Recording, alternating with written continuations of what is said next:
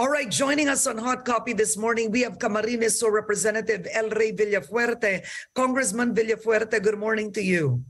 Good morning, Karen. Happy Valentine's to you and all the viewers. All right, thank you, sir. Now, you are one of those, you are one of the legislators pushing for charter change via constitutional convention. But let me ask you first, given the president's sentiments, he said it isn't his priority. Do you believe the House should still continue? Of course, definitely. Uh, problem, the problem in our country is basically poverty. We need to create jobs, and in order to create jobs, we need foreign investment, foreign capital. Uh, if you will look, the source of poverty in the Philippines is our low agricultural output, Karen. If you if we love our country, we should push for charter change. Why? There's a lot of uh, lands in the country idle. We need foreign, foreign capital. We need foreign technology to do that. The problems of high price of onion, garlic, lahat. This is a you know structural problem to eh. If you will look, Karen, uh, the the purpose of agrarian reform was really to help our farmers. We supported that, but you know, let's admit it was a failure in the sense because when we gave land to the farmers, there was no capital for them to pursue it. The result is low agricultural output for all. So what's the solution? We need foreign technology, we need foreign capital. And if you will look at all the countries who have progressed, uh, their, their, their country allows foreign ownership. And if you're a foreigner who wants to invest in agriculture and other sectors, basic, eh, you need ownership. Okay, so is it ownership of land per se? Because during the time of former President Duterte, uh, there were already amendments to uh, the Foreign Investments Act and the Public Service Act. Can you be specific? What don't these amendments answer, and what change would you make for agriculture specifically? Well, I was author of those laws, no trade liberalization, foreign investment, the Public Service Act. But basically, it all boils down to the ownership structure. Uh, basic uh, sectors in our country limits foreign ownership to up to 40%. What is that? Public utilities, media, education, uh, you know, natural resources development. Uh, and if you will analyze other countries like Korea, China, Japan, why did they progress, Karen? Because of manufacturing. Uh, even foreign uh, foreign direct investments in countries like Vietnam, mm-hmm. uh, most of the investments are in manufacturing. Mm-hmm. So, for example, you want to manufacture a certain product. Mm-hmm. Basic, you need land uh, ownership, and if you're only limited to forty percent, people still uh, you know invest. But basically, if you invest in a country, what are the basic issues? Land, power. The rates of power in our country are very high. We need foreign capital to develop water, telco. We mm. have the slowest, uh, one of the slowest uh, bandwidth in uh, the world. You need foreign capital for that. Mm-hmm. So even Christian Monsod said, the constitution is not the problem. It's part of the solution. I agree with him. It's part of the solution, but it's a solution nonetheless. Okay. So what would you change? For example, in the Public Service Act, what would you add or change? Would you already recommend a 100% full ownership on what specific industries?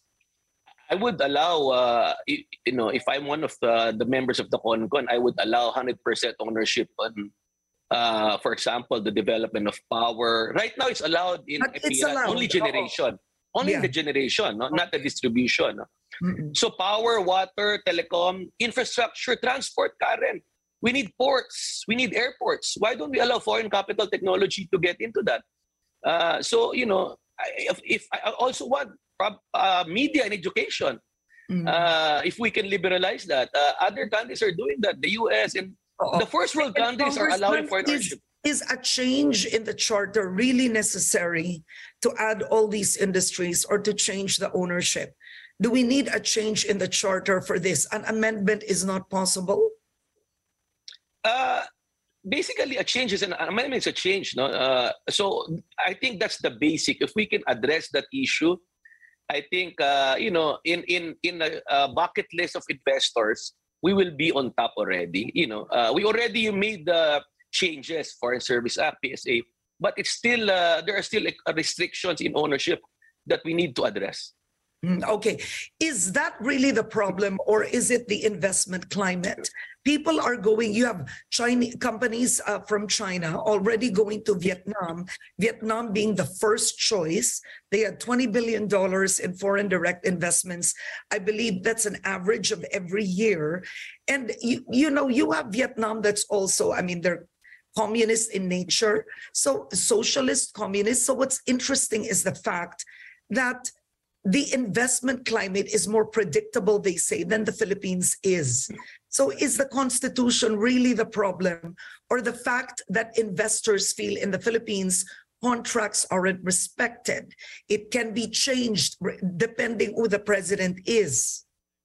Thank you, Karen, for answering that. Thank you very much. Because, you know, while we're, you know, while we all agree that we want economic provisions only to be changed, me personally, the investment climate and as you say, uh, instability, consistency is political eh. We're the only country who has elections every three years. Can you can you imagine, Karen, So that you want to you, invest you, you want to include the political aspect in the change in the charter? No, ako kasi we want we all agreed on economic, no? And let Concon decide. that. But let's all admit, pare, they, you, you know, um, um, the the bayan the the the Makabayan Black says the problem in our country is corruption and poverty. I think one of the causes of corruption is too many elections. Eh. Uh, you know, if you will look in underdeveloped uh, municipalities and provinces, uh, that's where corruption and poverty is because nagkakaroon ng warlordism and you know, if there's election every two years, ang gulo eh. You know, Karen, the basic problem there's political divisiveness. Right now, there's no one talking about politics. But, Mm. you know, uh, one year before election, bakbakan na yan. You know, kasuhan. And if you're an investor, uh, Karen, you want to invest in a business, for example, in a municipality, Mm. in for example in my province you invested millions uh, the mayor supported you then the Yeah. next election the mayor supported you lost i mean it's ang hirap eh walang instability so you mentioned Walang consistency stability. You mean walang stability? Oo. walang stability walang ikaw na rin nagsabi na nag-iiba ang policy mayat maya depende sa presidente Mm. So I think we should have less elections, but I think we should also allow a good candidate to be elected. Ah, ang tanong ko, Karen, look, ah, why why are the mayors, governors, congressmen elected every three years, and the senators six years, the president six years? Barangay officials are always extended. Why don't we make everything five years and limited to two two terms? You Mm. know, that's what I'm saying. Uh, let's admit it. For every economic action, there's a political effect. For every political action, there's economic effect. But if ever we want to do all of these, let's have to. We have to do this now. Why? If the, we cannot do this after the midterms, no chance na yan. Why? We, we Mm. will all be suspected of extending terms of officials. Okay, so you actually authored the proposal to change the uh, charter via constitutional convention. I want to ask you first, you have colleagues already pushing, not just for the economic side of it, but also the extension, okay, lifting term limits, having the president and vice president as a tandem. I believe there are nine House bills Tama ba ito? That have been filed to change the charter. Ang tanong nito kasi, ano ba ang prioridad ng mababang kapulungan? If you add all of it, there's a smaller chance of the charter being changed. Well, the priority right now, I think we had the leaders meeting.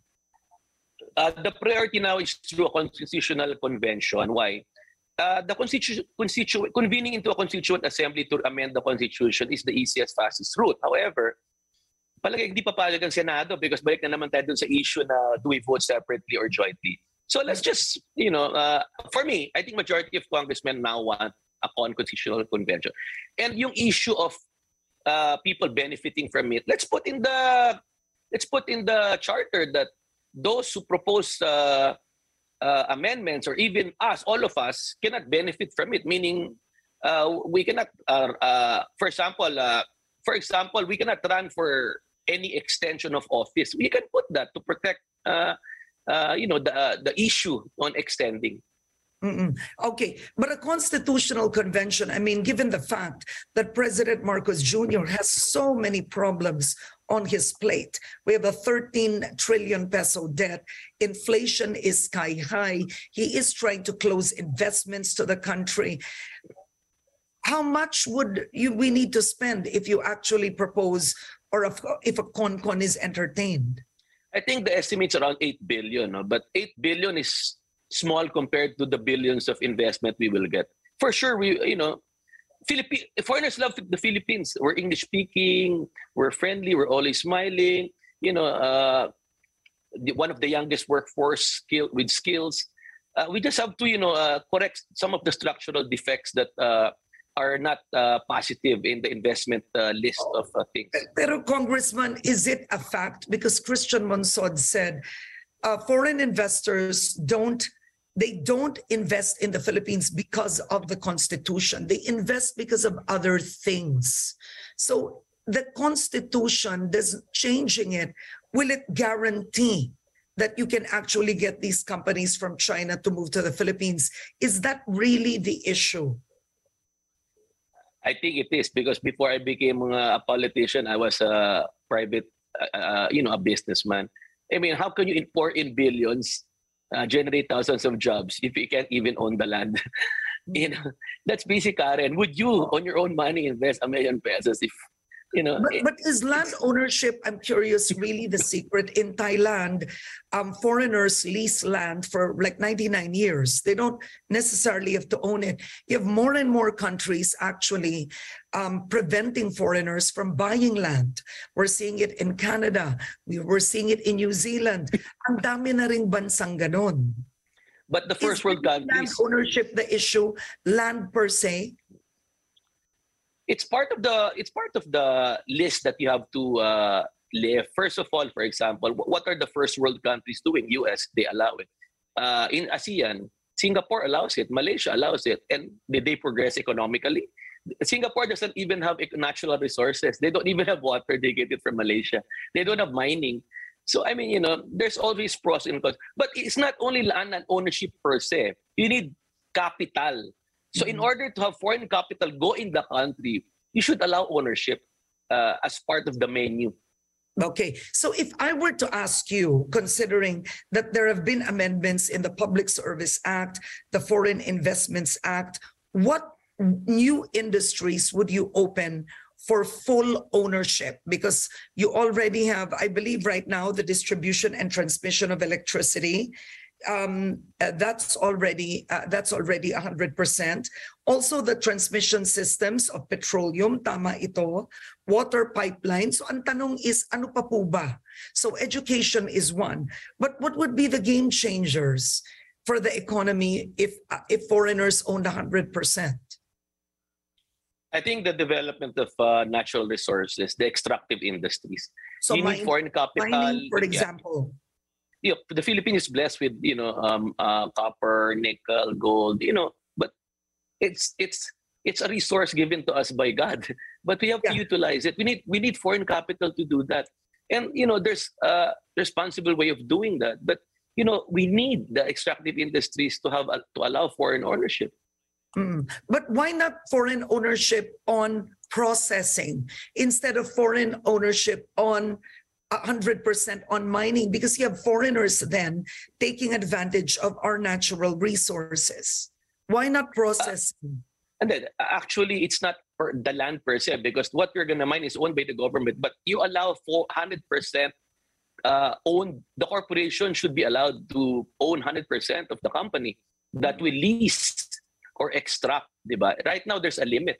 It's only uh, forty percent, and uh, uh, that's the limit. So, Okay. but Karen, let's another issue. You know this.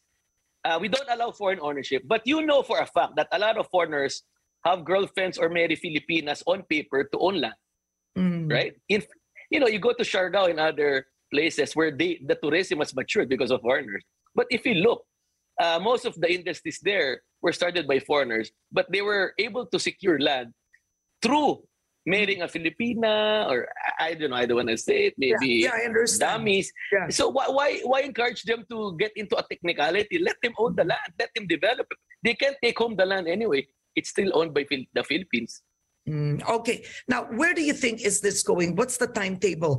Because you do have advocates, even Congressman Rufus Rodriguez, who says it- the, the talk should continue. Anong nakikita po ninyo dito? You said before midterm elections, dapat mag-con-con. Tama po, no, Congressman?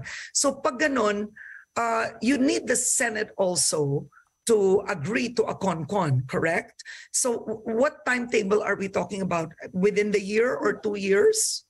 Well, no, actually, in Congress, we're targeting to have hearings, deliberate, uh, marathon hearings, and possibly, you know, uh, decide on this by April. Why? Well, Mm. for me, I wanted if my timetable is to to have a plebiscite by October, but I don't think that's possible anymore. So if the House approves it by April, hopefully the Senate will be able to decide by this year, and maybe we can have a plebiscite by first quarter next year. Now, if we can't have a plebiscite first quarter next year, I think we have to wait another five, the next president again. And so that's the sad reality. Karen, if you will look at this, uh, FVR, GMA, even Duterte was thinking of, uh, you know, changing the constitution through uh, through federalism. You know, all presidents know for a fact that we need to uh, amend the constitution. We've been through a lot of constitution, uh, Karen, 1899 Spanish Constitution, 1935, Mm. 1943 Japanese Constitution, 1973, 1985. We've already had five constitutional constitutions so far. So that's what 122 years, uh, five constitution. That's an average of 24 every 24 years. There's amendments. Uh, matagal na po. Since 1986 was the last uh, constitution which was approved. Mm, Okay. Now, what's interesting about this is it's not in the president's development plan to include charter change. So I'm actually reading right now uh, a NEDA um, report. Uh, last January 20, 2023, um, the NEDA board chaired by the president released they had the Philippine Development Plan for 2023 to 2028 and it declared it inclusive growth. That was the goal, open for business, the legislative agenda of the president. But nowhere in that NEDA plan does it include charter change. So how do you think will this fly if the president himself doesn't support it? Well, it doesn't mean that it's not there that we should do it. For example, in the development plan, uh, inclusiveness in agriculture. Uh, if we don't have foreign capital, foreign technology, Aren, how, many presidents have uh, we had? And you know, our agricultural output is not even over five percent of GDP. So that's really sad. Uh, you go around the countries, you drive here from uh, Manila to Baguio, Manila to Bicol, you see all of this idle land. Uh, you know, we need to support the Philippine Development Plan and we feel in Congress that part of that is, you know, taking the structure, which is charter change. Mm, Okay. On that note, I wanted to ask you just in passing. I mean, you know, I, I know that this may not be your area specifically of expertise, but you already you've heard the news about uh, China already using their laser lights on our own um, uh, uh, Coast Guard or Filipino fishermen, but uh, that caused temporary blindness. What do you make of this and the recent skirmishes in Ayungin Shoal? Definitely, it's a uh, part of harassment and bullying. You know, uh, a big, powerful country bullying uh, the Philippines. No, I think uh, a, sim- a simple diplomatic protest right now is not enough. Uh, the Philippines cannot fight China on, on on its own. We should, you know, promote relationships uh, with our allies, America. I mean, the U.S., Japan, our neighbors, to you know, to let to make China feel that they cannot continue this. Uh, it's really, you know, it's really sad that uh, this thing is happening, that we are being bullied. But we should stand up and unite as a nation uh, to pro- to you know tell China that they should stop this. Okay, all right. And on another note, I'm just curious, another off topic, but where do you stand on the SOGIE Equality Bill? I I, I I- I'm an author of that bill Okay. in Congress. And, and so with the deferment, I mean, right now, um, you have it in the Senate that it's back to the committee level. And in the House, it's also taking more time. Are you still optimistic or do you frankly believe it faces big challenges with religious groups? Uh, definitely. Uh, there are certain, you know, you know, 95% probably are agreeable to all this. There's certain provisions there that are controversial. I, uh, we should all be open for all change. I, I'm a born again Christian, so there's also sector pro or against it. But I think uh, there are provisions there that can be talked about and settled. Mm, Okay, all right. On that note, Congressman El Rey Villafuerte, thank you for joining me today, sir. Thank you. Happy Valentine's.